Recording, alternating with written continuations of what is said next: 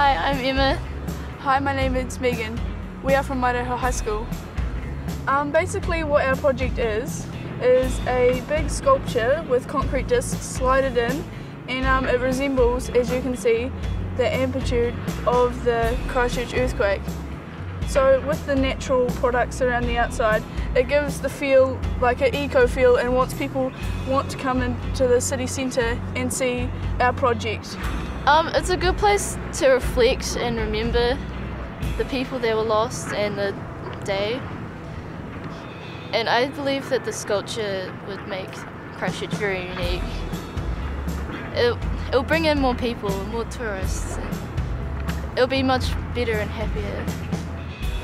I think a memorial is a positive thing, even though many people have passed. And I think Christchurch really needed something to look back on it, and a big sculpture just it's very out there and bold, and it just stays a statement. And I think it's very positive for Christchurch.